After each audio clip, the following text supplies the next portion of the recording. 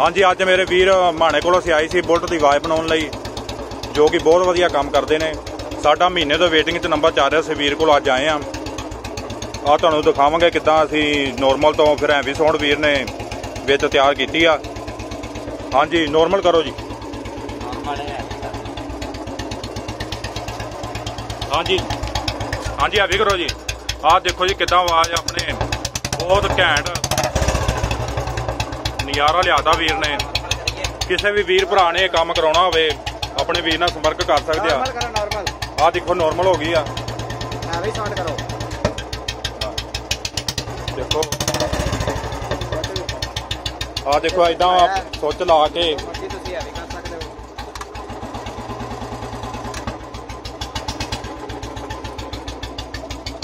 Normal ਦੁਬਾਰਾ normal ਕਰੋ।